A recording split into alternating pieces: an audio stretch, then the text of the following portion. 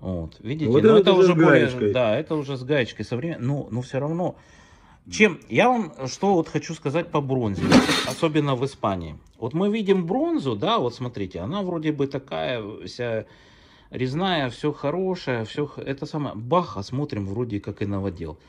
А тут вроде как и не похоже на новодел. В чем разница? Дело все в том, что они свои формы, э, испанцы, держат э, десятками лет. И то есть иногда получается форма, там, например, 1900 года, а Мгм. они А ее льют в свеженький. 70-х. Мгм. А льют 70-х. И поэтому иногда отличить, если вот так, а на это отличить Мгм. только можно как? Вот только смотря вот на вот этот вот низ. Гаечка. А по форме, вот не отличите. Иногда бывают такие люстры, ну смотришь, ну думаешь, точно ей там 120-140 лет.